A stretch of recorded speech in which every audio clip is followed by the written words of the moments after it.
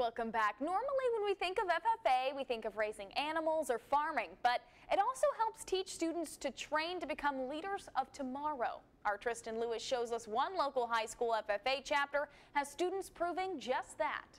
Rudder High School FFA is one of the top chapters in the state. Students like Courtney Thurman continue to prove that. She and Miranda Skaggs placed at the Texas FFA Leadership Career Development State Contest.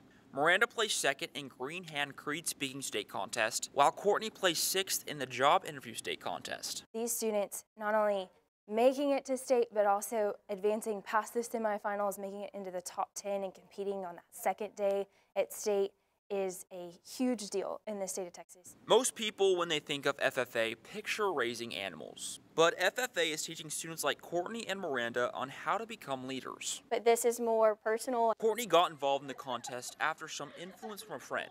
It seemed like a cool thing to do, but could also benefit her sure it'll be fun as a contest in high school, but then after, like, it'll help you for the rest of your life. Courtney uses resources around her, like school staff and local businesses in town, to help get her job interviewing practice in.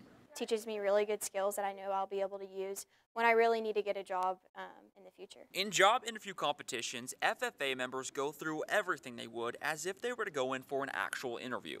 To do well, Courtney says confidence is key. And not like being worried about, oh, what if I say the wrong answer or anything like that. Because confidence will carry a long way in the job interview competition. Now and then, nerves creep up. But to Courtney, you just have to shake them off. I'll kind of dance around or something right before I go in, or like take a really deep breath before I go in. Although she's ecstatic with her placement, she knows big things are still to come next year. Last year I made it to state but didn't make it to the second day. This year I made it to the second day, so definitely improve it, and I hope I can improve improve for next year. In Bryan, Tristan Lewis, KAGS News.